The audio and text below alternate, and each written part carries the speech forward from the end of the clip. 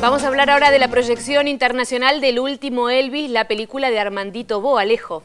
Y tiene que ver con un progreso, con un proceso integral, porque tiene que ver con el primer festival de cine argentino en Australia, que va a comenzar hoy en Sydney, que va a continuar hasta el próximo miércoles en esa ciudad y que luego del 20 al 26 se traslada a Melbourne. Y como nos comentaba Pato, la película que va a dar el puntapié inicial, frase nueva si las hay, va a ser el último Elvis de Armando Bo, no, ese no, el nieto de él, que está protagonizada por John McInerney, aquí lo tenés en pantalla, un arquitecto devenido en actor y muy bien que lo hizo. Pero no va a ser la única, también van a estar dando esa joyita del cine nacional, el western